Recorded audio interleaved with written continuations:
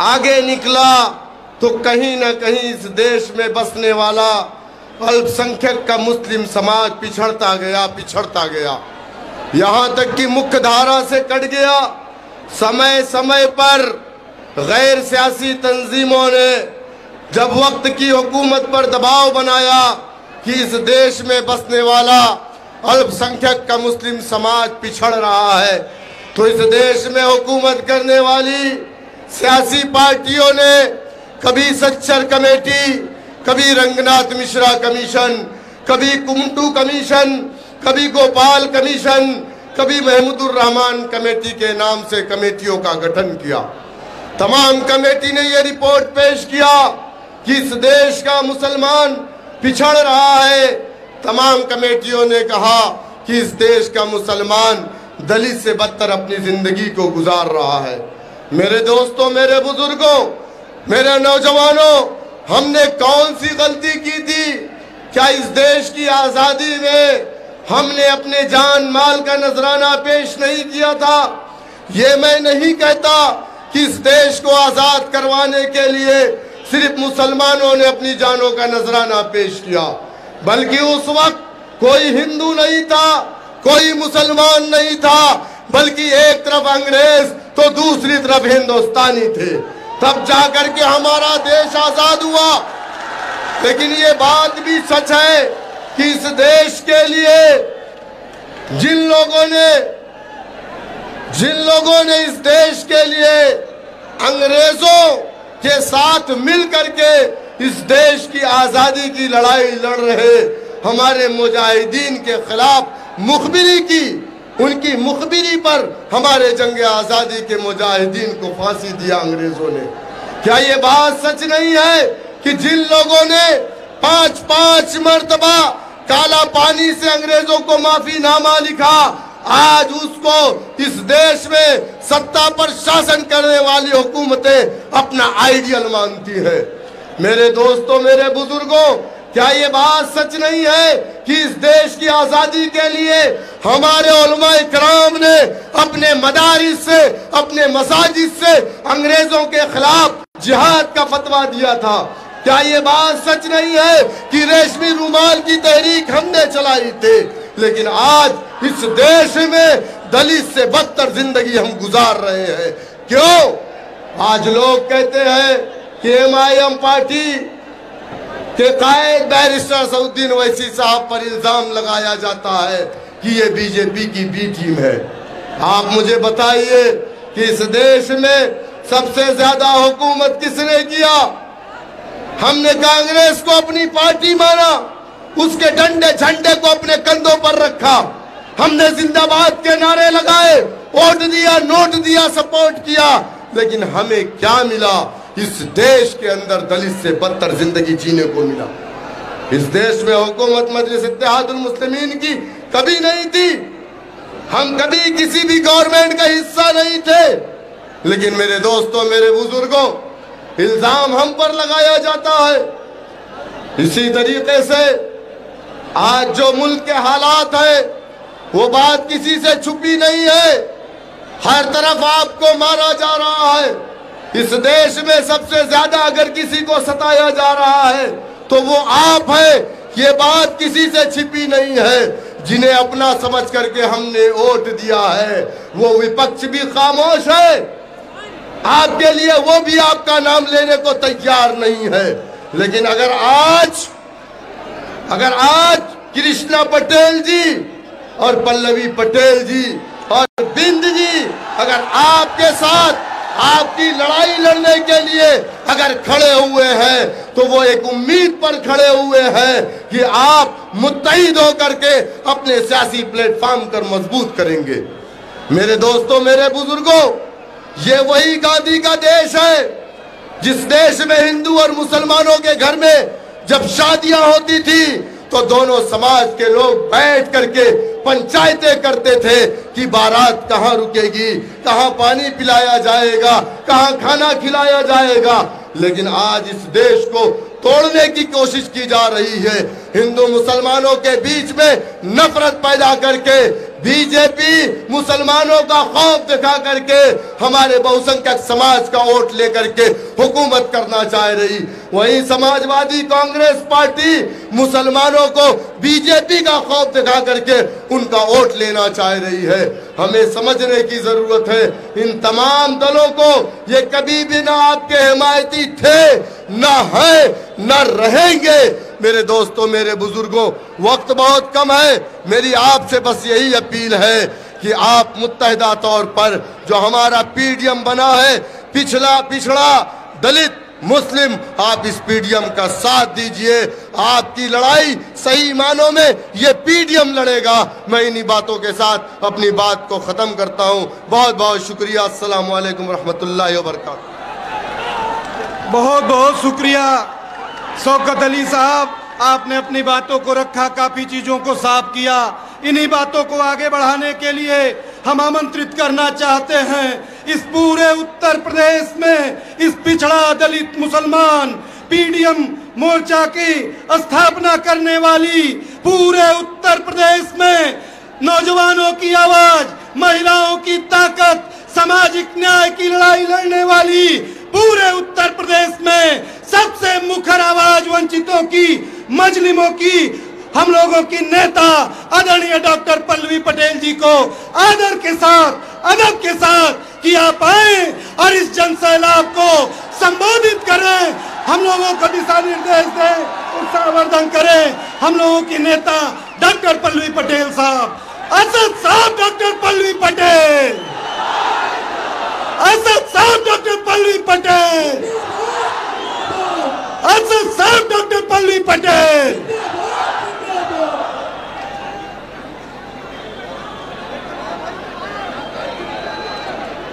जहाँ माँ गंगा की प्रौणता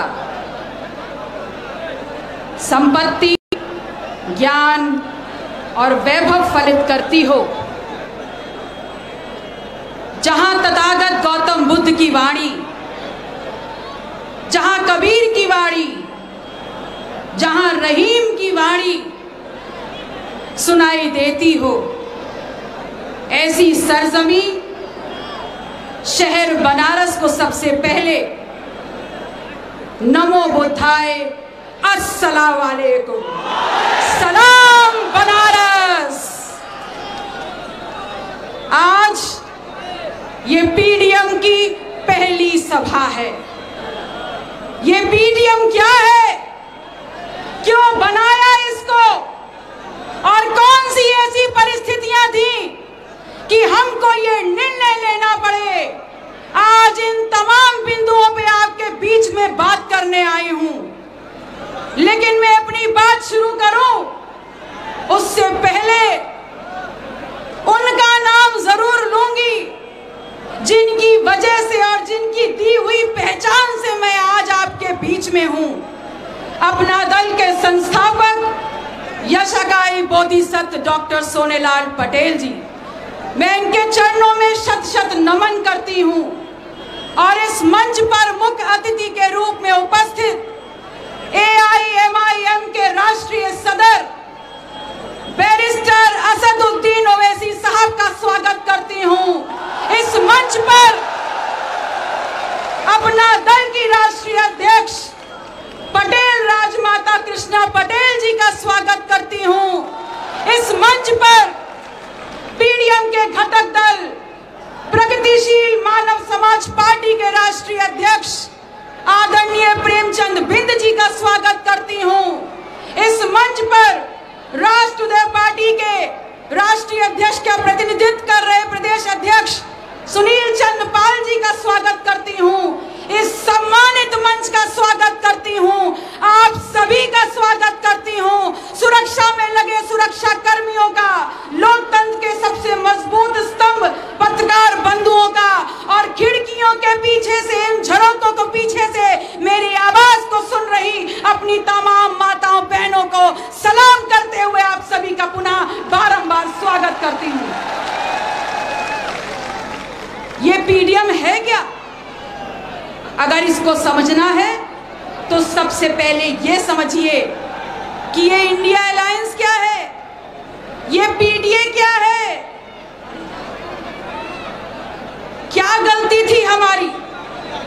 सिर्फ़ इतना ही तो कहा था कि अगर तीन राज्यसभा की सीट आपके पास है, आप तीन लोगों को नामित कर सकते हैं। तो पिछड़ा दलित मुसलमान की महिला या आम आदमी क्यों नहीं हो सकता? तो इन्होंने क्या कहा? मैंने इनसे कहा कि अगर तीन राज्यसभा की सीट है तो वो महिला क्यों नहीं हो सकती? जो सड़कों पे, खेत खलियानों में तमाम दुश्वारियाँ झेल करके रोज कमाती है, अपने परिवार का पालन करती है, वो महिला राज्यसभा के लिए नामित क्यों नहीं हो सकती? लेकिन इनको बात समझ में नहीं आई। मैंने इनसे कहा कि अगर राज्यसभा की तीन सीटें हैं तो उसमें कोई पिछड़ा और दलित क्यों नहीं जा सकता? तो इन्होंने मुसलमान महिला को सम्मान देना, इनको नागवार गुजरा। और दूसरी तरफ़, जिसने पिछड़ों का तीन स्तरीय आरक्षण छीनने का काम कर दिया, ऐसे सरकारी बाबू को नामित करके राज्यसभा में भेजने का काम कर दिया। ये धोखेबाज है! ना इनको महिला का सम्मान करना है और विशेष रूप से पिछड़ी दलित मुसलमान का तो बिल्कुल नहीं करना है। मुसलमान का सौ परसेंट वोट तो चाहिए, लेकिन मुसलमान का माँ बोलने में भी इनकी जबान हकलाती है। ये है सच्चाई इनकी। और जब इनकी जबान हकला रही है तो फिर मुझे जरा ये बात बताइए कि ये क्या सोच रहे हैं और क्या समझ रहे हैं। ये ये सोच रहे हैं कि दूसरी तरफ़ आप देखिए, यहीं पर कांग्रेस के नेता राहुल गांधी आए थे। उनके साथ उस यात्रा में हम भी थे, आप सबने देखा होगा। लेकिन जब मैंने उनसे कहा कि भैया, यहाँ पर किसानों की ज़मीन लूटी जा रही है, भैया, यहाँ पर इस देश को दुनिया में यश दिलाने वाले इन बुनकरों के हाथ का हुनर छीना जा रहा है। भैया, यहाँ पर जो रोज़गार में, यहाँ पर नहीं दिया जा रहा है तो आपको पता है जवाब क्या मिला? जवाब आप सबने सुना। यहाँ पर लुटती हुई किसान की ज़मीन नहीं दिखाई दी उनको। यहाँ पर बुनकरों की भुखमरी और लुटता हुआ उनका यश और हुनर नहीं दिखाई दिया उनको। यहाँ पर लुटता हुआ नौजवानों का रोज़गार नहीं दिखाई दिया उनको। अगर राहुल भैया को कुछ दिखाई दिया तो उनको चंद मुट्ठी भर लोग शराब पीने के बाद हिलते दुलते सड़कों पे नज़र आ गए ये है असलियत। और उनको उनको ये दिखना किसानों की लुटती ज़मीन, बुनकरों की भुखमरी और नौजवानों के रोज़गार से बहुत ज़्यादा अहमियत रखने वाला और राजनीतिक अहमियत रखने वाला दिखा। क्या समझते हैं ये लोग कि आपको लूटते रहेंगे और अपने बीच में ये बातें करते रहेंगे कांग्रेस और समाजवादी पार्टी के लोग कि घेर लो, एक हो जाओ, घेर लो इन मुसलमानों को कहीं भागने ना पाए। समझ रखा है। ये मुसलमान मुर्गी है क्या कि पकड़ लोगे, काट लोगे और पका के खा जाओगे? ये है उनकी असलियत। और मैं आपसे कहने आई हूँ कि मंच पर बैठे हैं असद भाई। इनको मैंने बहुत बार कहते सुना है कि भारतीय जनता पार्टी को जिताने वाले, यही विपक्षी का चेहरा ओढ़े ओढ़ने वाले लोग हैं।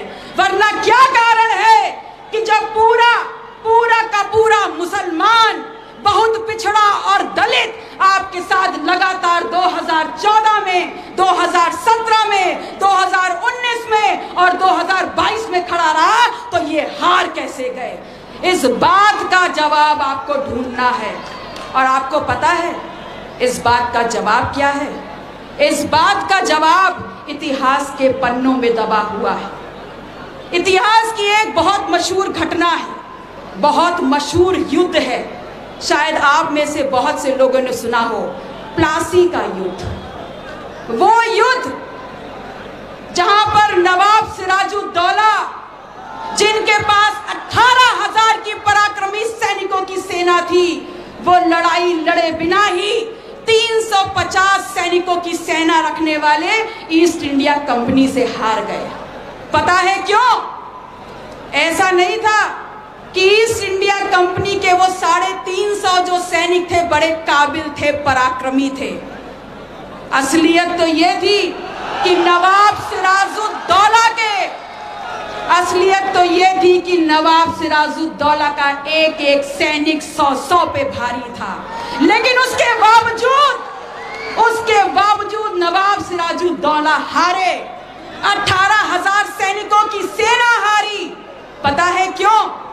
क्योंकि कमजर्व सिराजुद्दौला का वो सेनापति मीर जाफ़र बिक गया, वो निकल गया दलाल।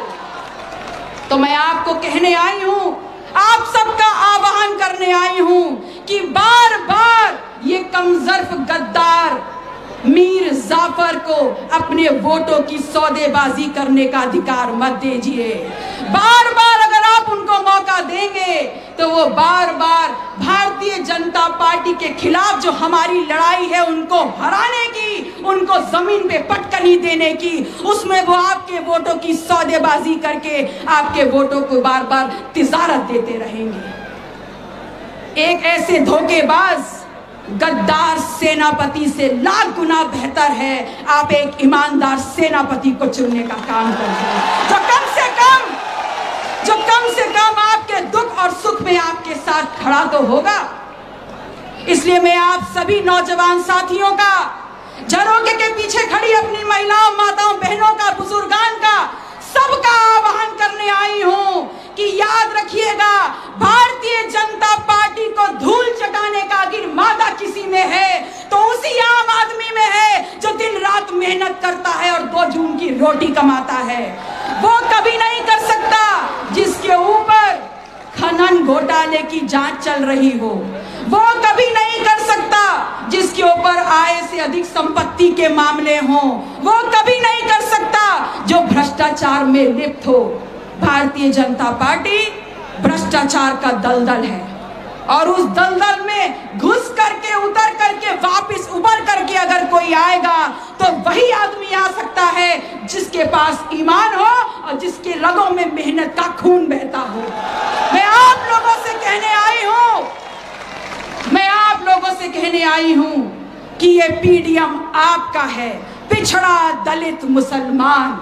हम आपकी ताकत आपके साथ खड़े होकर के बढ़ाने आए हैं और आप लोगों का आह्वान करने आई हूँ कि पूरी ताकत से एक बार एक साथ आ जाइए। इनको धूल चटा देंगे और इनको बताने का काम करेंगे कि जब जब इस देश का किसान, मजदूर, कमेरा समाज जागता है, मेहनत का समाज जागता है तो बड़ी बड़ी सल्तनत हिल जाती है। ये बताने हम आपके बीच में आए हम आपसे ये कहने आए हैं कि याद रखिए। ये जो लोग हैं, ये बड़ी चतुराई से आपके बीच में आएँगे। आपको उल्टी सीधी बातें भी समझाएँगे, लेकिन आपको ये याद रखना है। हमको ये याद रखना है कि आपने किया क्या है। आपने 2014 में इनको मौका दिया। 2019 में इनको मौका दिया। अब 2024 में भी इनको मौका देना चाहते हैं। लेकिन मौका देने से पहले इनसे ये तो पूछ लीजिए कि 10 सालों में इन्होंने किया क्या है? क्या 10 सालों में बनारस हिंदू यूनिवर्सिटी, वो कैंपस जो अपने आप ने अपने आप को एक मॉडल कैंपस के रूप में डेवलप किया था और जहाँ से निकलने वाले छात्र छात्राएँ विश्व में अपनी क्षमता का लोहा मनवाते थे। आज उन लोगों की बौद्धिक क्षमता क्या विकसित हुई है? इन लोगों से पूछिए कि 10 साल में इस देश का किसान, इस देश का कमेरा जो खेत खलिहानों से फ़सल निकाल करके इस धरती का मान बढ़ाता था, क्या आज उसको वो सम्मान मिल पाया है?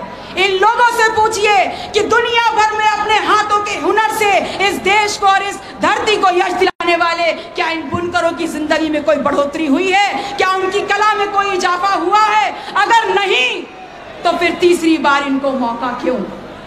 क्या हमारी ज़िम्मेदारी सिर्फ़ हमारी रोजी रोटी तक है? क्या हमारी ज़िम्मेदारी सिर्फ़ हमारी शिक्षा तक है? अगर इनको तीसरी बार मौका दिया तो याद रखिएगा 2000 में मौका मिला तो घाट बेचे, बनारस का इतिहास बेचा ये देश बेच रहे हैं और प्रदेश बेच रहे हैं। और हम लोग जो बनारस के रहने वाले हैं और जाति और धर्म से ऊपर उठ करके जिनकी पहचान और जिनकी ज़िंदगी इस गंगा मैया पर निर्भर है, आश्रित है, और जो हमें संस्कृति देती है, सभ्यता देती है और सदियों सदियों से आस्था का प्रतीक है, उसको बचाना और उस बनारस की विरासत को रखना सजोकर ये सब भी हम बनारसियों की ज़िम्मेदारी है। लेकिन आज 2024 में ये याद रखिएगा कि इनको बचा कुचा बनारस का एक इंच भी नहीं देना है और खदेड़ देना है बनारस की सेना, सीमा के बाहर इनको। और याद दिला देना है कि यह आम जनता का चुनाव है, ये आम जनता का निर्णय है। मैं आप लोगों से ये कहने आई हूँ कि याद रखिएगा, ये आपके बीच में तमाम उगालते लेके आएँगे। तमाम बातें कहेंगे लेकिन अपने बीच में आसपास देखिए, बड़े होशियार लोग हैं ये। क्या बोल रहे हैं कि हम भारतीय जनता पार्टी की बी टीम है? अगर हम भारतीय जनता पार्टी की बी टीम है तो आप लोगों से एक सवाल पूछती हूँ। जब इसी बनारस में उच्च सदन में नेता पक्ष इस देश के प्रधानमंत्री माननीय नरेंद्र मोदी जी की इसी कॉन्स्टिट्युएंसी में जब किसानों की ज़मीन काशी गेट के नाम पर वैदिक सिटी के नाम पर ट्रांसपोर्ट नगर के नाम पर लूटी जा रही थी, तब इस धरती का वो सांसद चुप क्यों था? उसने धोखा दिया है हम सबको। और धोखा दिया है तो अब उसका फल भुगतने को भी तैयार रहे। आज चारों तरफ़ लूट मची हुई है। और किसी भी तरफ़ देख लीजिए भारतीय जनता पार्टी के राज में अगर सबसे ज़्यादा शोषण किसी का हुआ है तो पिछड़ा दलित मुसलमान का हुआ है। और पिछड़ा दलित मुसलमान का हुआ है, और पिछड़ा दलित मुसलमान का शोषण करने वालों के सामने जिन्होंने विपक्षी गठबंधन बनाया और जिन्होंने बोला कि हम भारतीय जनता पार्टी को सिरे से गिराने का काम करेंगे तो मैं उनको चुनौती देती हूँ कि दुनिया भर में क्यों घूम रहे हैं। अगर भारतीय जनता पार्टी को धूल जटाना चाहते हैं तो शुरुआत बनारस से क्यों नहीं करते? कन्नाज का रुख क्यों कर लिया है? मैं आपसे कहने आई हूँ कि आज आइए चुनौती देती हूँ उन विपक्षी दलों को कि यहाँ आइए और यहाँ पर चुनौती स्वीकार करिए। इसी मन से मेरे सभी सम्मानित सदस्य यहाँ बैठे हुए हैं। उनके सामने घोषणा कर रही हूँ कि अगर हिम्मत है और यहाँ लड़ने आएँगे तो पीडीएम बिना शर्त उनका सहयोग करेगा, समर्थन में उतर जाएगा। लेकिन हिम्मत हो, तब ना। अगर हिम्मत होती, अगर हिम्मत होती तो वो व्यक्ति जो 10 साल से बनारस को लूट रहा है, जो आज भारतीय जनता पार्टी का यहाँ प्रत्याशी है, उसके सामने खुद उभरते ना कि भारतीय जनता पार्टी के पुराने कार्यकर्ता को उठा करके हम सबको ठगने का काम कर देते। अरे चुल्लू भर पानी में मर जाना चाहिए ऐसे लोगों को, जो समाज, जो लोगों की भावनाओं के साथ खिलवाड़ कर रहे हैं। और मैं उनसे कहने आई हूँ कि जिस दिन जिस दिन ये समाज जाग गया, मान लीजिए आप, सबका खेल खत्म। और अब मौका है कि आपके साथ असद साहब खड़े हैं। आशीर्वाद देने के लिए पटेल राजमाता खड़ी है। हमारा सहयोग और ताकत बढ़ाने के लिए माननीय बिंद जी और बाबूराम पाल जी खड़े हैं। बस थोड़ा सा उत्साह लगा लीजिए, थोड़ी सी शक्ति लगा लीजिए और इस बार बेड़ा पार कर दीजिए।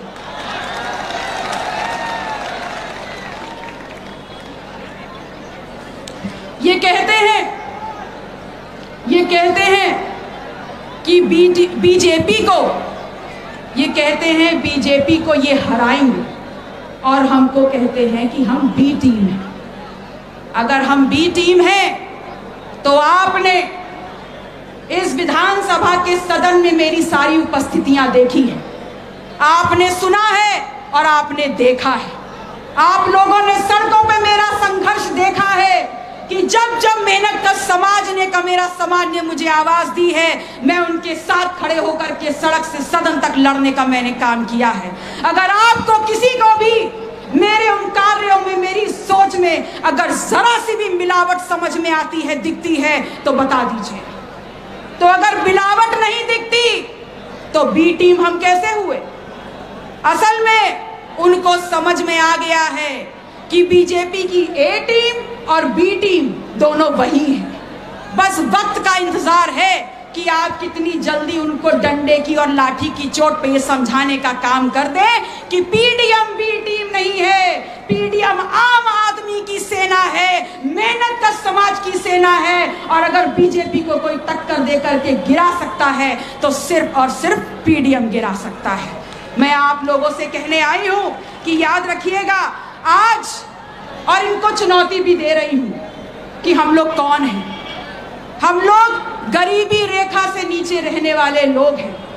बीपीएल और हम लोग वो हैं जिनको ये पाँच किलो राशन देकर के अपने पक्ष में कर रहे हैं। तो मैं चुनौती देती हूँ सरकार को और उनकी तमाम एजेंसियों को कि आप जाएँ, गलियों गलियों में जाएँ और ये बताने का काम करें कि आपकी लिस्ट में और आपकी योजनाओं में जो लोग बीच, बीपीएल के अंतर्गत अंकित हैं, क्या वो पिछड़ा दलित मुसलमान नहीं है?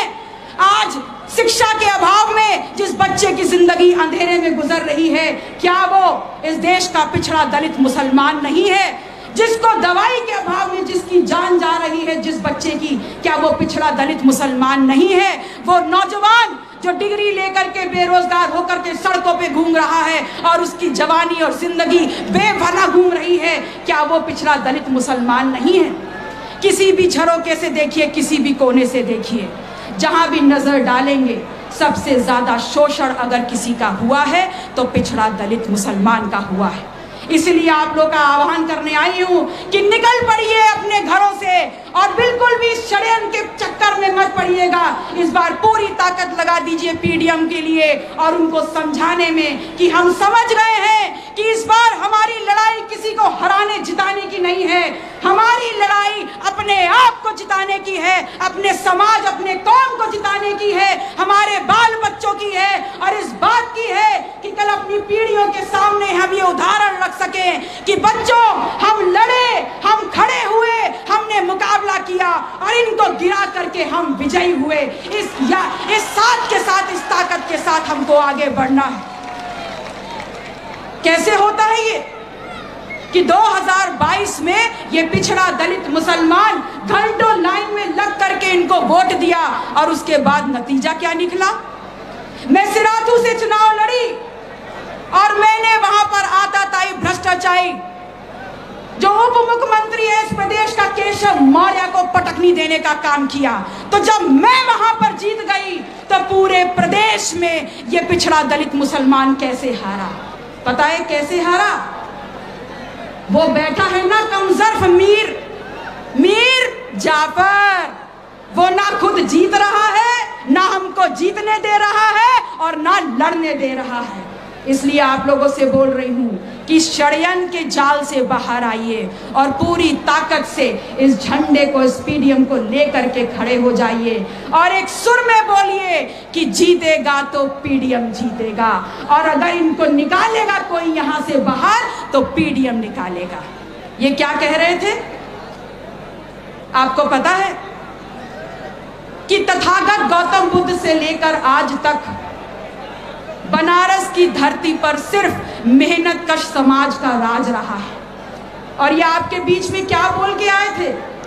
ये आपके बीच में ये बोल के आए थे कि मैं पटेल का चेला हूँ।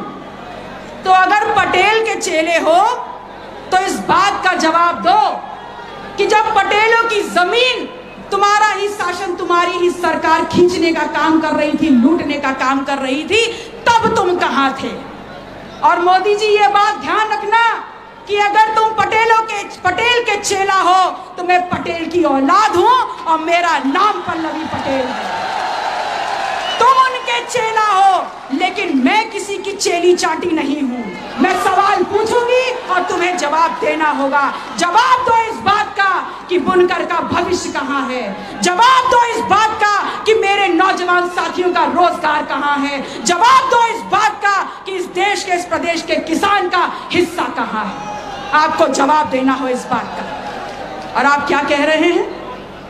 क्या आप इस ज़िम्मेदारी से भाग सकते हैं? क्या आप जी चुरा सकते हैं, मन चुरा सकते हैं? इस बात का जवाब नहीं देंगे कि आपके शासनकाल में दलित के सिर से पेशाब कर दी जाती है। क्या आप इस बात की ज़िम्मेदारी से भाग सकते हैं कि आपके शासन में जहाँ जहाँ भी आपका शासन है, चाहे राजस्थान हो, चाहे मध्य प्रदेश हो, चाहे उत्तर प्रदेश हो, सबसे ज़्यादा सरकारी सिक्योरिटी में अगर किसी को टॉर्चर किया गया है सरकारी महकमे के द्वारा तो वह पिछड़ा दलित मुसलमान है। क्या आप इस बात की ज़िम्मेदारी से भाग सकते हैं कि सबसे ज़्यादा अगर सामंतवादी ताकतों ने दोबारा सर उठाया है तो आपके शासनकाल में उठाया है? क्या आप इस बात से जी चुरा सकते हैं, जवाबदेही से भाग सकते हैं कि वो लोग, कि जिनके घर गिराए गए, जिनकी प्रॉपर्टियों की कब्जे रखे गए वो लोग तमाम वो लोग हैं जो पिछड़ा दलित मुसलमान के हैं। मैं आप लोगों से कहने आई हूँ और अर्ज़ करने आई हूँ कि पूरी ताकत से पीडीएम में लग जाइएगा और हम लोग आप लोगों को उस ताकत तक ले जाने का काम करेंगे जो आपकी हिस्सेदारी है और जो आपकी हकदारी है। हमने यही सोच करके पिछड़ा दलित मुसलमान का नारा दिया, जो पूर्ण शुद्धता है जिसमें कोई मिलावट नहीं है। और जिसमें संकल्पों और विचारों की 100 परसेंट गारंटी है, मैं आप लोगों से कहने आई हूँ कि आप लोग को हाजिर नाजिर मानते हुए ये वादा कर रही हूँ कि अगर हम सत्ता में आए तो इस देश में सबसे पहला काम जो होगा, वो होगा जातिवार जनगणना। आपके बीच में कोई कोई भी बड़ा मेमोरेंडम घोषणा पत्र लेके नहीं आई हूँ। कोई झूठे वादों की फहरिस्त नहीं है। अगर कुछ है तो सिर्फ़ संकल्प कि जातिवार जनगणना होगी एक एक की गिनती होगी और जिस समाज की होगी जितनी संख्या भारी, शिक्षा, रोज़गार, सदन, पैसा, कमाई, पढ़ाई, लिखाई, स्वास्थ्य में होगी आपकी उतनी हिस्सेदारी और जितनी होगी आपकी हिस्सेदारी, इस देश को आगे बढ़ाने में होगी आपकी ज़िम्मेदारी। आप सब लोगों ने आप सब लोगों ने बहुत हौसला अफजाई की है। बहुत ध्यान से सुना है। बस अंत में अपनी दो बातें कहते हुए आप सभी लोगों से रजा लूँगी कि बनारस ने बड़े बड़े इतिहास बनाए हैं। तो कभी ये सोच के डर मत जाइएगा कि मोदी जी को कोई हरा नहीं सकता। अगर बीजेपी को हराने का दावा करने वाली बीजेपी की ये ए टीम नहीं हरा पाएँगी तो हम पीडीएम मिल करके मोदी जी को रफा दफ़ा कर देंगे। इस वादे के साथ, इस वादे के साथ और उदाहरण के साथ कि आप सभी को 1977 का वो चुनाव याद होगा, जब लोक बंधु जननायक राजनारायण जो आपकी धरती पर पैदा हुए उन्होंने तत्कालीन आयरन लेडी प्रधानमंत्री इंदिरा गांधी को धूल चटाने का काम किया था। तो जब आयरन लेडी हारी, जब उस वक्त की आयरन लेडी हारी आम जनता के हाथ तो इस वक्त ये झुट्टा भी हारेगा इस देश की आम जनता के हाथ। बहुत बहुत शुक्रिया। पुनः आप सभी को सलाम करती हूँ। नमो बुद्धाय। जय संविधान। शबक है। जब भी बढ़ जाते हैं पत्थर चलाने वाले कम नहीं होते हैं आईना बनाने वाले। टूट जाते हैं, बिखर जाते हैं, जर्रा जर्रा। लेकिन आईना फिर भी बनाते हैं, आईना बनाने वाले। आईना फिर भी बनाते हैं, आईना बनाने वाले। अब आप और असद साहब के बीच रोक पाने की गुस्ताखी हिम्मत में नहीं कर सकता। बिना किसी लाग लपेट के अदब के साथ आमंत्रित करना चाहता हूँ। जनाब असद साहब, आप आइए। खैर, मकदम है आपका। स्वागत है आपका। असद साहब जिंदाबाद। असद साहब जिंदाबाद। असद साहब पल्ली पटेल। असद साहब कृष्णा पटेल। जनाब असद साहब, राष्ट्रीय अध्यक्ष ए आई एम आई एम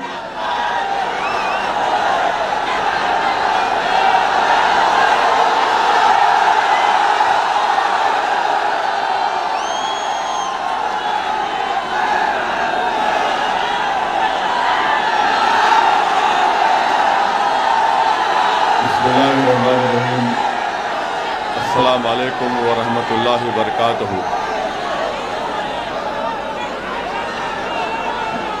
मंच पर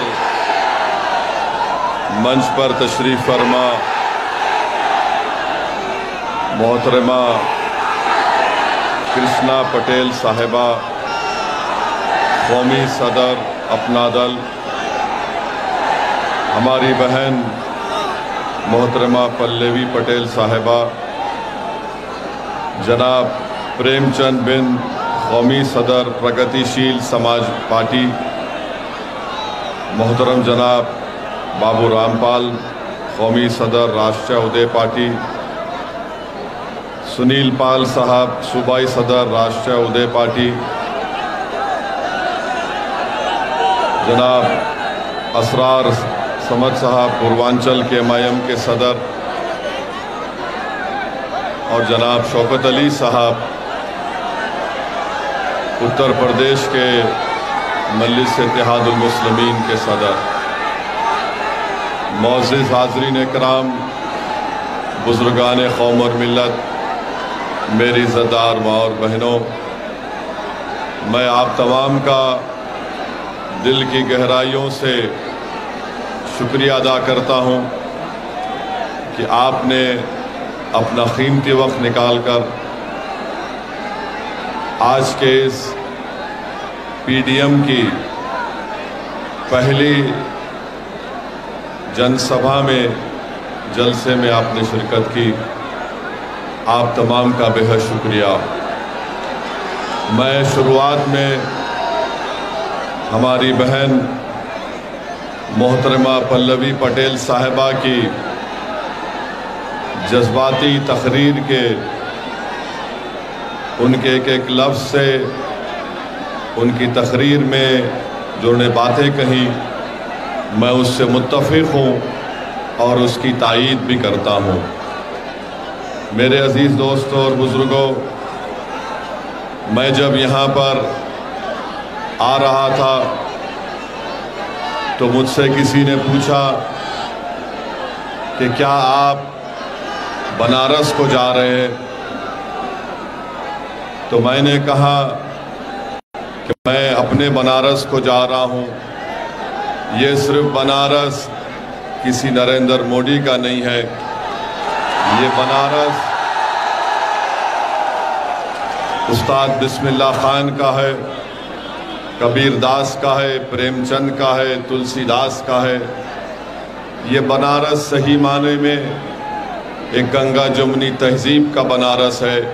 मैं उस बनारस को जा रहा हूँ।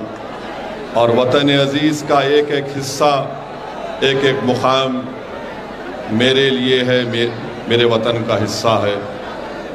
मेरे अज़ीज़ दोस्तों और बुज़ुर्गों मेरी इज़्ज़तदार माँ और बहनों पीडीएम क्यों बनाई गई? पीडीएम इसलिए बनाया गया क्योंकि उत्तर प्रदेश की सियासत में, उत्तर प्रदेश की राजनीति में हम ये देखते हैं कि पिछला दलित और मुसलमान का सिर्फ़ वोट लिया जाता है, मगर उनसे इंसाफ नहीं किया जाता।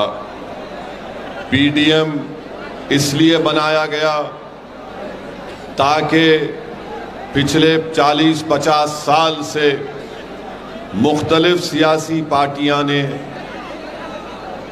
पिछला दलित और मुसलमान का इस्तेसाल किया। उनको कोई इंसाफ उनसे नहीं किया। वो गरीबी और कमज़ोरी में अपनी ज़िंदगी गुजारने पर मजबूर हो गए। पीडीएम इसलिए बनाया गया कि उत्तर प्रदेश की राजनीति में एक विकल्प हो इस पिछड़े समाज के लिए। पीडीएम इसलिए बनाया गया ताकि हकीकी माने में समाजी इंसाफ हो सके। पीडीएम इसलिए बनाया गया क्योंकि हम 50 साल से सिर्फ़ वोट डालने वाले बने, अब हमको इन ताला वोट लेने वाले बनना पड़ेगा।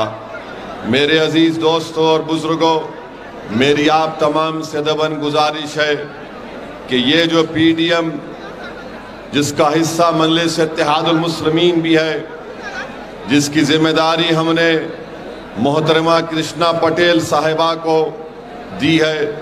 मैं उत्तर प्रदेश के पिछले दलित और मुसलमानों से अपील करने आया हूँ कि आप तमाम पीडीएम से जुड़ जाइए पीडीएम को मज़बूत करिए, क्योंकि याद रखिए, अगर हमको छुटकारा मिलना है संघ परिवार से, बीजेपी से अगर हमको छुटकारा मिलना है समाजवादी पार्टी से या दीगर दूसरी सियासी पार्टियों से जो सिर्फ़ जबान से इंसाफ की बात करते हैं, मगर ज़मीन पर उस कमली जामे नामा पहनाने का काम नहीं करते, मैं आपसे वादा कर रहा हूँ कि इन ताला ये पीडीएम ने एक पहला कदम बढ़ाया है और मैंने हमारी बहन पल्लवी पटेल साहिबा से ये बात कही है कि ये सिर्फ़ पार्लियामेंट के चुनाव की हद तक महदूद नहीं रहेगा,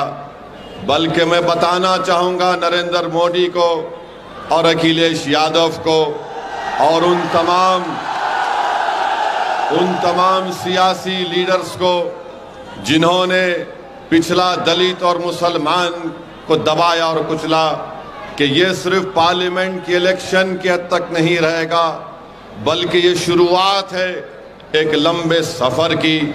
और हम अपनी मंजिल को ज़रूर पहुँचेंगे और उस मंजिल को पहुँचते पहुँचते मुझे यकीन है कि आप तमाम का साथ मिलेगा।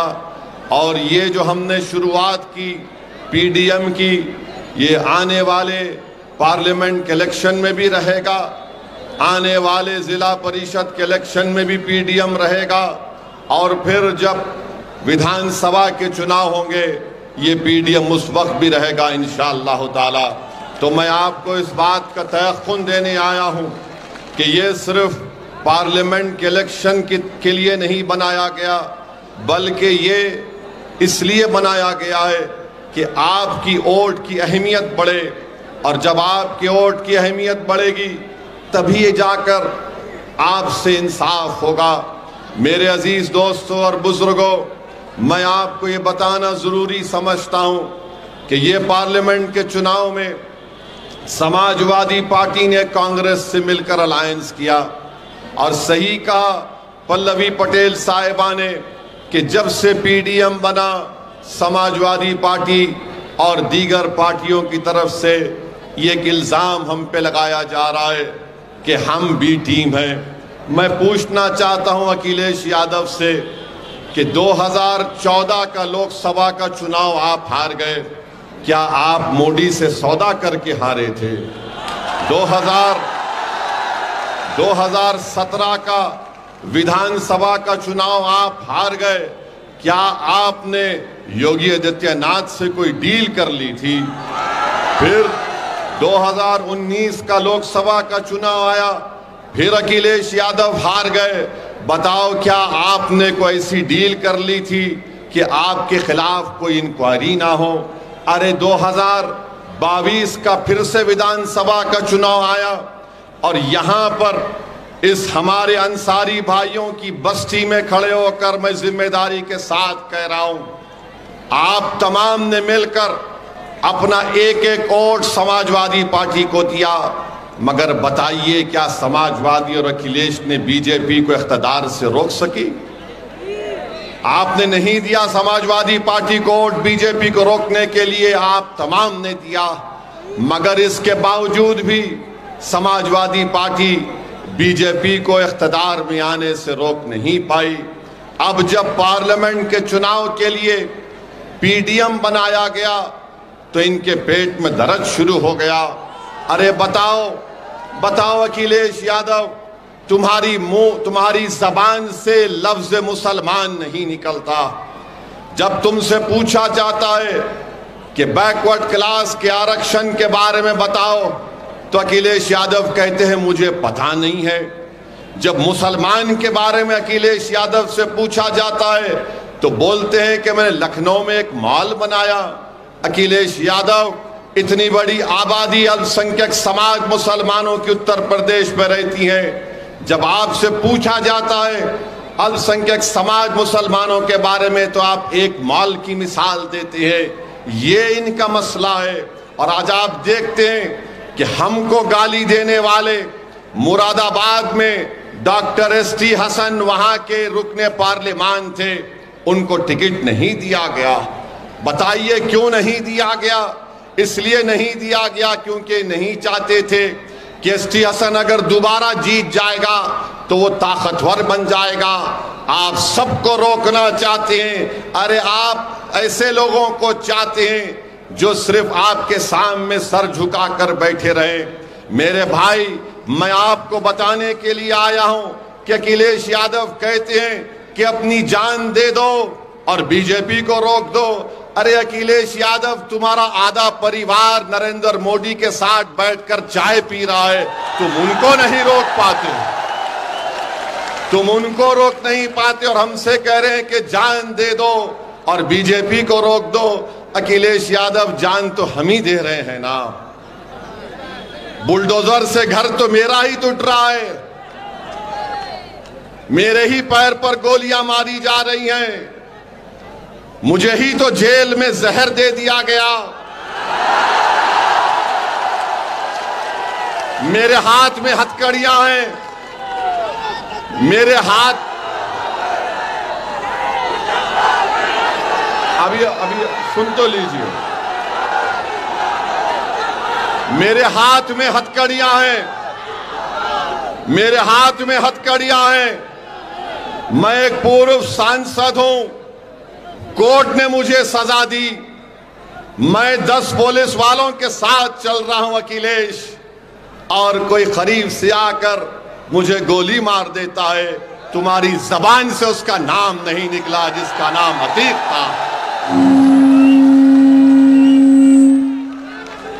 मेरे अज़ीज़ दोस्तों और बुज़ुर्गों कोर्ट का ऑर्डर आया मदरसों को खत्म करने के लिए। हज़ारों मदरसे मुतासर हो गए। लाखों बच्चे मदरसे में पढ़ते, मगर समाजवादी पार्टी बोल नहीं सकती, अपने जबान से मदरसों का नाम नहीं ले सकती। और याद रखिए, समाजवादी पार्टी यही चाहती है कि आप भैया के लिए जान कुर्बान करो और दरी बिछाओ। महम पीडीएम आपसे कहने आई है कि आप मुतहदा तौर पर पीडीएम का साथ दीजिए।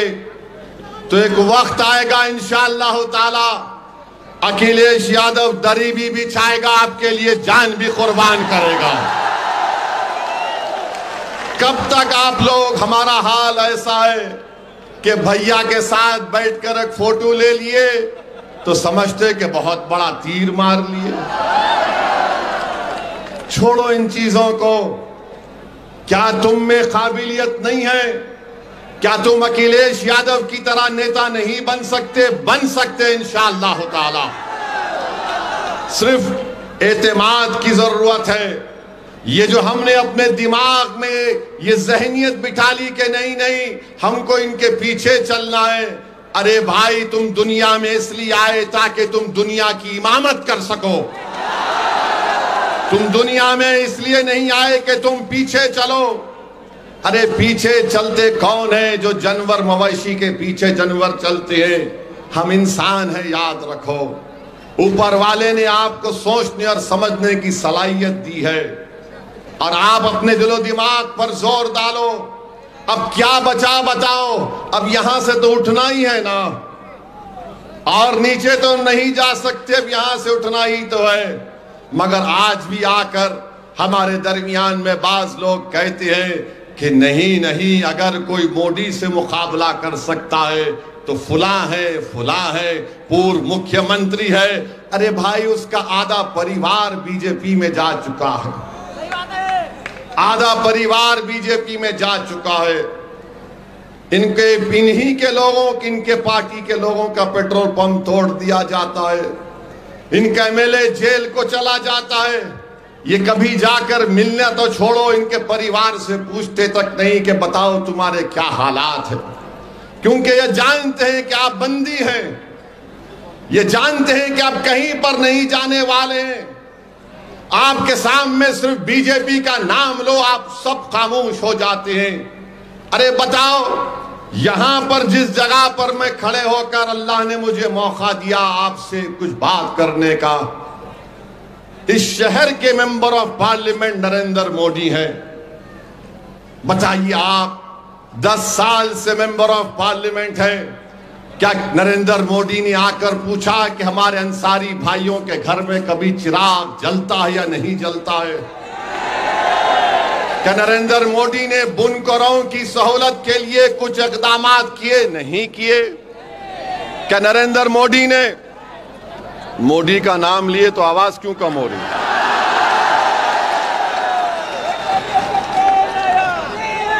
मेरे अज़ीज़ दोस्तों और बुज़ुर्गों, प्रधानमंत्री हैं। बुनकरों का बिजली की कीमत कम नहीं होती।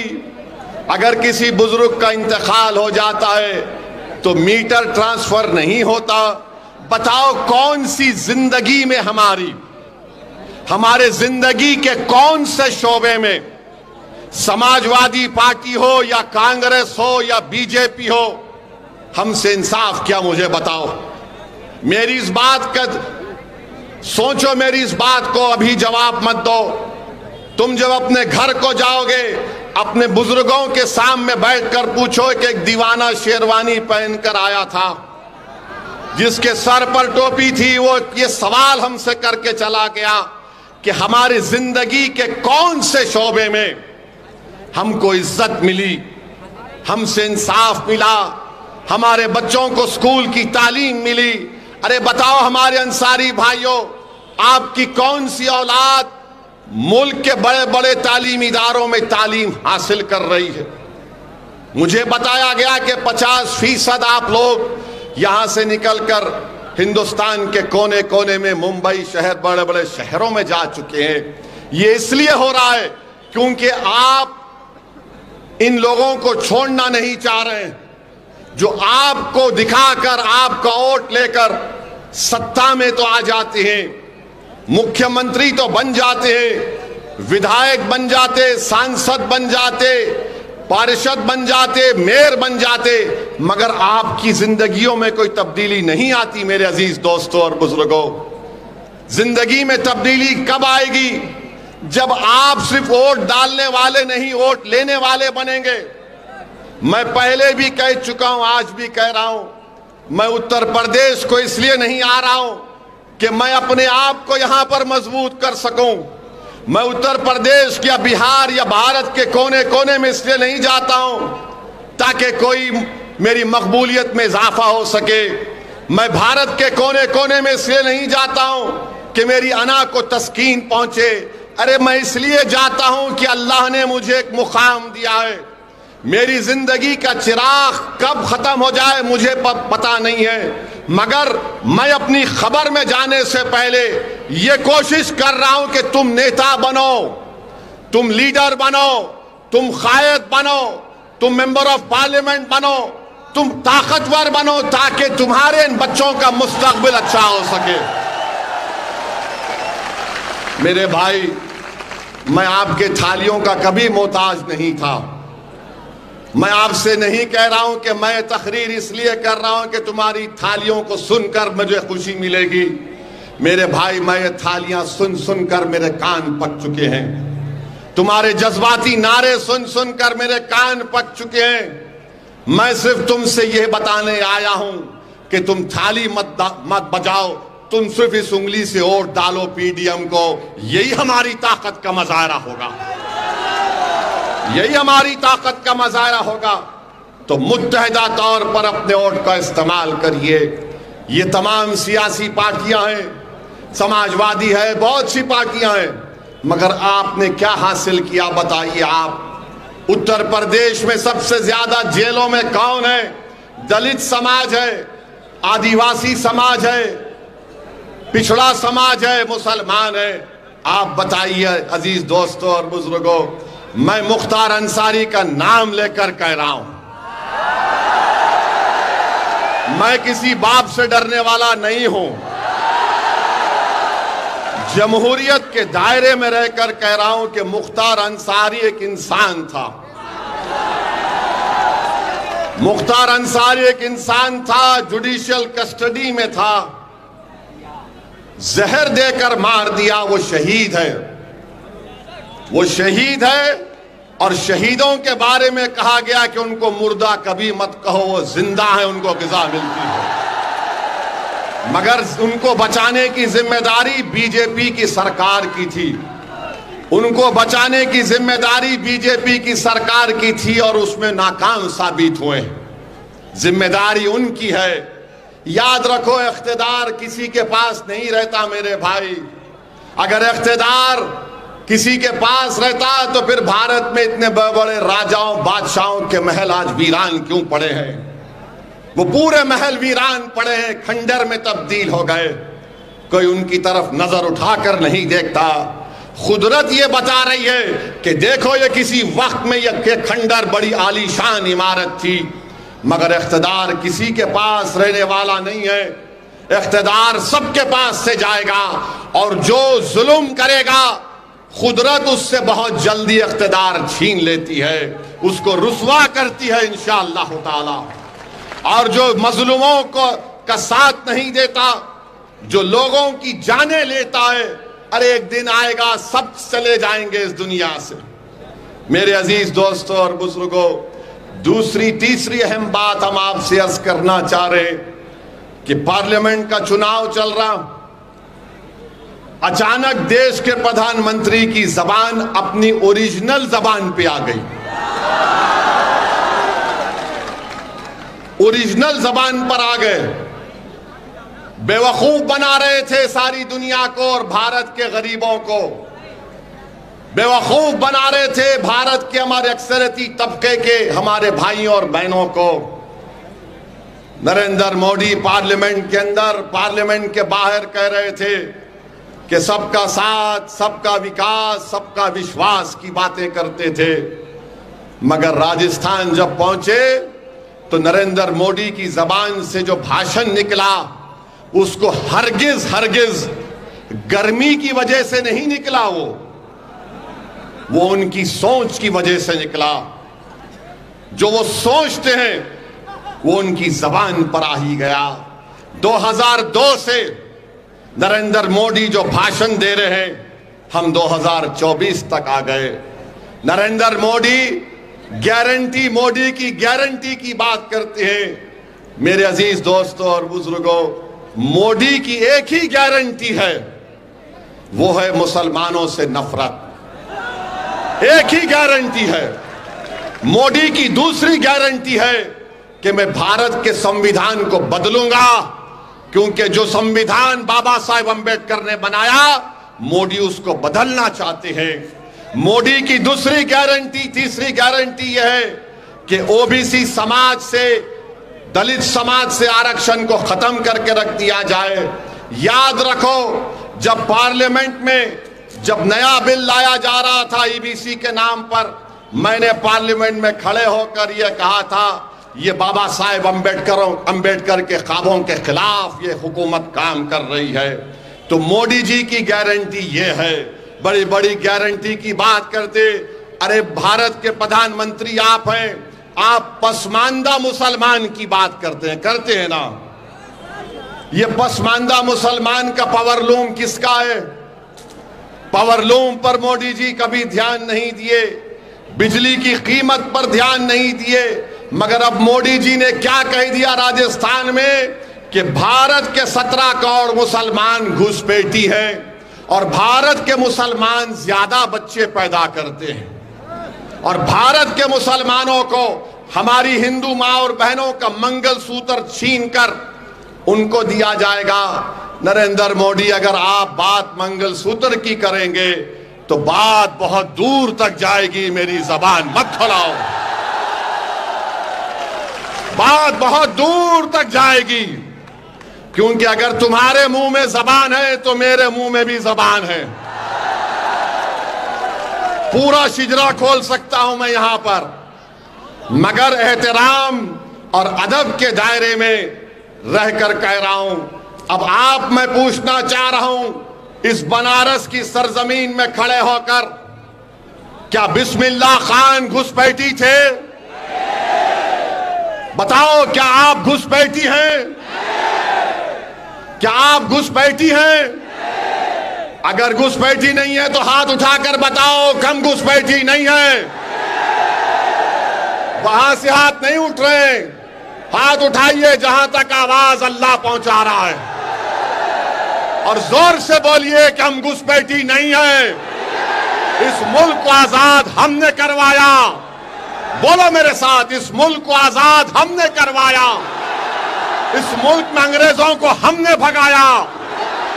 इस मुल्क को अंग्रेज़ों के भगाने में आरएसएस का कोई रोल नहीं है। वो माफीनामा लिखते थे, हम सूलियों पर चढ़ते थे, मोदी जी। हमको घुसपैठी कह रहे हैं आप। अच्छा आप दूसरा इनका झूठ। अरे सुनिए सुनिए। हाँ ज़िंदा ही है, ज़िंदा ही रहेंगे इंशाल्लाह। मर भी जाएँगे, तब भी ज़िंदा रहेंगे इंशाल्लाह ताला। क्योंकि मौत क्या है? मौत क्या है? इंसान के जिसम से रूह निकल जाती है। एक घर से दूसरे घर को मुंतकिल होते, हम फना नहीं होने वाले आए मोदी जी। अब दूसरा इनका बात, अब दूध सुनिए। बच्चे पैदा कर रहे हैं ज़्यादा। मोदी जी, आपके छह भाई है, नहीं है, बताइए हमको। अमित शाह की छह बहनें हैं। हाँ अच्छा जो आरएसएस के गोलवाल कर मैं तो सुना कि उनके नौ दस भाई बहन थे। मोदी जी, कभी अपने गिरबान में झाँक कर भी तो देख लो। और सच्चाई यह है कि मुस्लिम महिलाओं का फर्टिलिटी रेट मोदी सरकार का डेटा इंपेरिकल एविडेंस आदादो शुमार ये कह रहे हैं कि फर्टिलिटी रेट मुस्लिम महिलाओं का गिरा है। मगर नरेंद्र मोदी जी, भारत के हमारे हिंदू भाई बहनों में बैकवर्ड क्लास के भाई बहनों में, दलितों में ये बताना चाह रहे हैं, ये मुसलमान बहुत बच्चे पैदा कर रहे हैं, एक दिन ये हमसे बढ़ जाएँगे आगे। नहीं मोदी जी, इतना झूठ तो मत बोलो। वो गाना क्या है झूठ बोले तो कौवा काटे। मोदी जी, आपको मालूम कि भारत में मुसलमानों की आबादी कभी भी साढ़े अट्ठारह या उन्नीस फ़ीसद से आगे बढ़ने वाली नहीं है।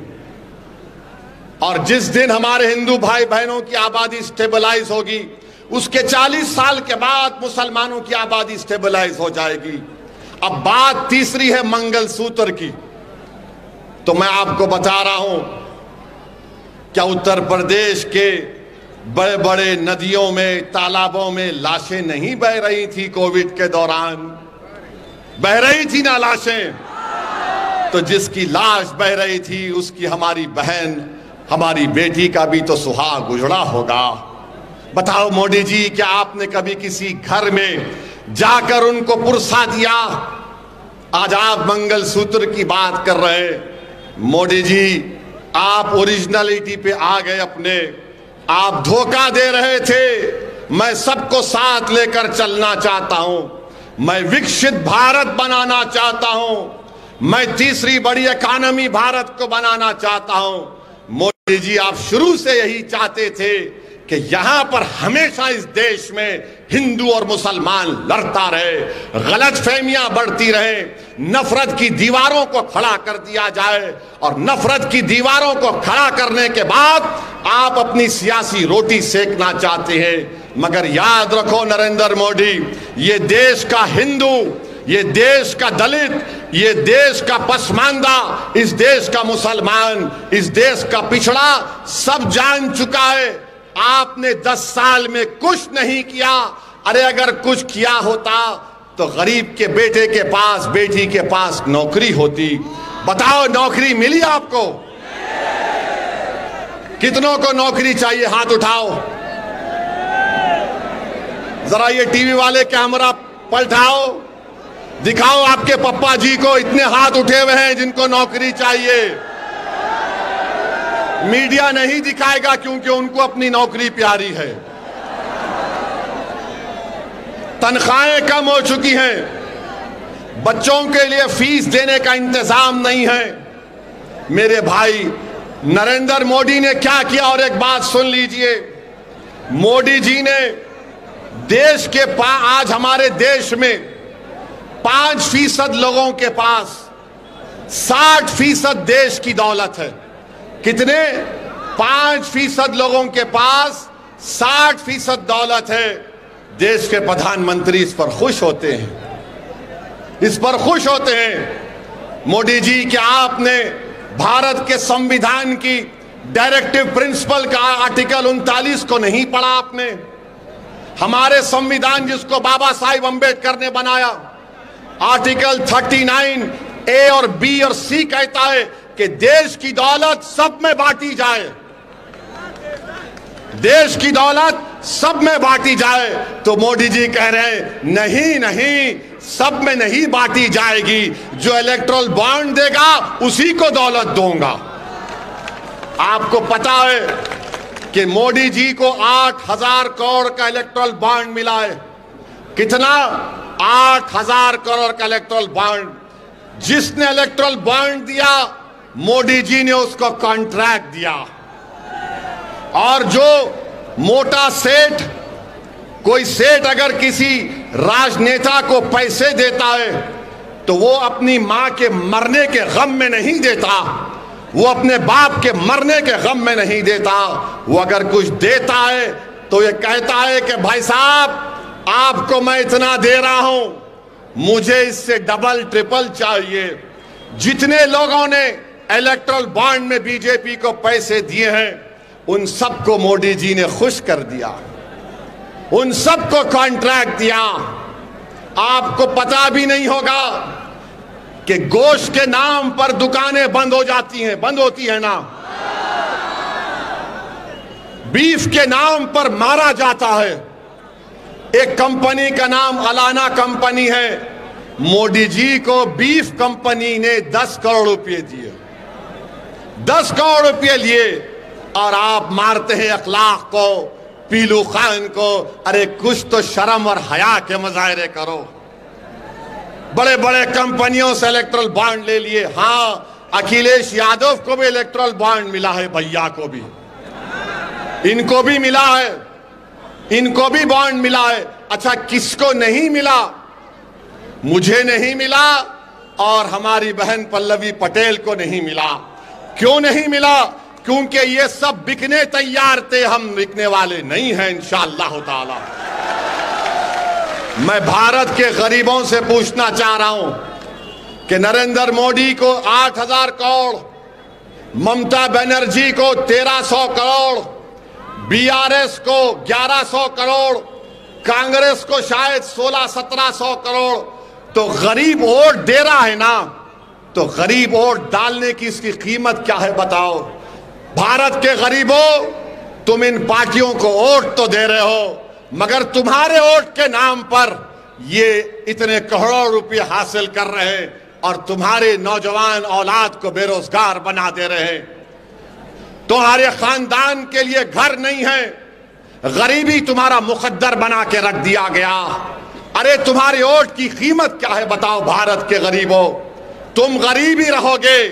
तुम्हारे वोट की कीमत नहीं है, क्योंकि तुम जिसको वोट दे रहे हो, वो तमाम के तमाम बिक चुके हैं। इलेक्ट्रल बॉन्ड के नाम पर बिक चुके हैं। तो इसीलिए हम आपसे अपील कर रहे हैं कि आप तमाम लोग पीडीएम का साथ दीजिए, अपनी क़यादत बनाइए, और मुसलमान, दलित, पिछड़ा जब मिलेगा, यही लोग कमज़ोर है। इन्हीं पर जुल्म किया गया। इन्हीं को दबाया गया, इन्हीं को लूटा गया, इन्हीं को मारा गया और आपस में लड़ाया गया, इन्हीं पर गोलियाँ चलाई गई हैं। याद रखिए, अगर हम मिलकर काम नहीं करेंगे तो नुकसान हमारा होगा और आने वाली नस्लें हमसे पूछेंगी कि बताओ अब्बा, बताओ चाचा, आपने हमारे लिए क्या किया? तो चाचा और अब्बा ये नहीं कह सकते कि हमने अखिलेश के लिए दरी बिछाई। चाचा और अब्बा ये नहीं कह सकते कि हमने बीजेपी के खौफ में उस पार्टी का साथ दिया। हम आपसे कह रहे कि डरने और घबराने की ज़रूरत नहीं है। आपने बरसों कांग्रेस का साथ दिया। आपने बरसों समाजवादी का साथ दिया। अरे भाई, कब तक आप इन लोगों का साथ देंगे जिन्होंने आपको कमज़ोर करके रख दिया, जिन्होंने आपके वोट को लेकर आपको बर्बाद कर दिया। इसीलिए हम आपसे अपील करने आए हैं कि पीडीएम के जहाँ जहाँ पार्लियामेंट उम्मीदवार रहेंगे, आप उनको अपना वोट दीजिए। एक नई तारीख पैदा करिए और एक अच्छी सियासत हम कर सके। लोग अक्सर मुझसे कहते हैं कि सदुद्दीन भाषण अच्छा देता है, सब अच्छा देता है। मेरे भाई, मैं भाषण भी अच्छा देता हूँ, मैं खुद भी अच्छा आदमी हूँ, बुरा नहीं हूँ। मुझमें भी बहुत कमजोरियाँ हैं। इंसान हूँ। मैं कोई फरिश्ता होने का दावा नहीं कर रहा हूँ। मैं कोई वली और खुतुब होने का दावा नहीं कर रहा हूँ। मैं ये कह रहा हूँ कि मैं एक इंसान हूँ। मेरे दिल और सीने में तकलीफ़ होती है जब मैं नाइंसाफ़ी को देखता हूँ। मैं अपनी इस तकलीफ़ को, इस तमाम नाइंसाफ़ी को ख़त्म करने के लिए पीडीएम बनाया गया है।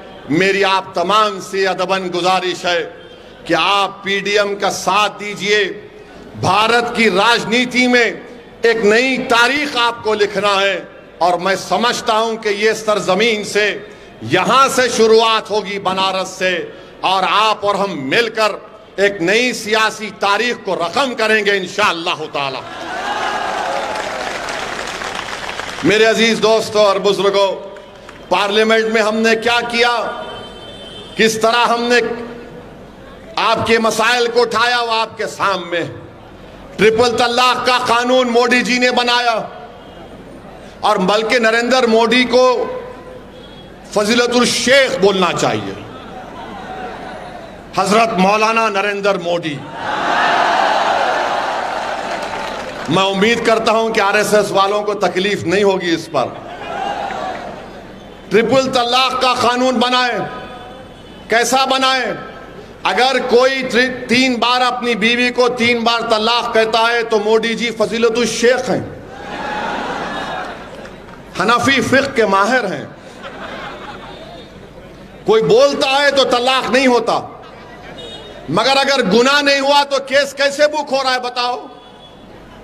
फिर मोदी जी बोलते हैं कि जब तलाक नहीं हुआ तो जेल में अगर कोई पागल मुसलमान जो गुनाह करता है ट्रिपल तलाक कहकर वो जेल को जाता है तो मोदी जी ने कहा कि तू जेल में रहेगा और अपनी बीवी को पैसे देगा। कोई जेल में रहकर पैसे दे सकता है अपनी बीवी को। फिर मोदी जी ने इनका दिमाग देखिए वाकई में मोदी जी के दिमाग की जितनी तारीफ़ करे कम है। मोदी जी ने कहा, उसको अगर कोर्ट सजा देता है दो या तीन साल की तो तीन साल तक हमारी बेटी उस जालिम और पागल के साथ शादी के रिश्ते में बंदी रहेगी। और मोदी जी ने कहा, मेरी बेटी, मैं मुस्लिम बेटियों का हमदर्द हूँ। जब तुम्हारा पागल गुनागार शौर दो साल या तीन साल के बाद जेल से निकलेगा तो तुम अपने हाथ में एक फूल का हार, एक बैंड बाजा और बैंड बाजे वाले से कहना कि बहाओ फूल, बरसाओ मेरा दीवाना जेल से निकल कर आया। बताइए आप, ये कानून बनाते हैं आप? ये कानून बना दिया आपने। हमने तीन तीन बार उस कानून की मुखालिफत की। सी डबल ए का कानून सही है या गलत है बताइए? सी डबल ए का कानून सही है या गलत है बताइए? हाथ उठाकर बताइए। हमने पार्लियामेंट में उस कानून की बिल को फाड़ा, सही किया या गलत किया बताइए? आपने देखा समाजवादी पार्टी के किसी एमपी ने बिल के बारे में क्या बोला? देखिए जाकर देखिए जाकर, मुँह नहीं खुल रहा था। बोल नहीं पा रहे थे। हम जब खड़े हुए 302 एमपी के सामने हमने कहा, जिस तरह महात्मा गांधी ने व्हाइट साउथ अफ्रीका के कानून को फाड़ा था, हम इस कानून को फाड़ते हैं यह भारत के संविधान के खिलाफ है। मेरे भाई, इसीलिए हम आपसे कह रहे हैं, हमारी बहन पल्लवी पटेल का भी हमने भाषण यूट्यूब पर सुना। जब वो असेंबली में बोलती हैं तो माशाल्लाह बड़ी बेहतरीन तरीके से बोलती हैं। और बेबाक तरीके से बोलती हैं, अपने अल्फाज को चाप चाप कर नहीं बोलती वो।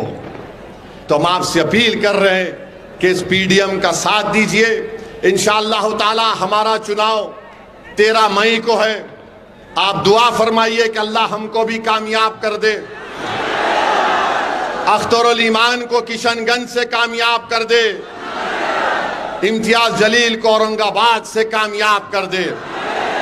और फिर पीडीएम के पूर्व उम्मीदवारों को अल्लाह आपके वोट और दुआओं से उत्तर प्रदेश में कामयाब और कामरान कर दे। तो तेरह तारीख के बाद हम भी आएँगे। जहाँ जहाँ हमारे उम्मीदवार रहेंगे, इंशाल्लाह हमारी कोशिश होगी।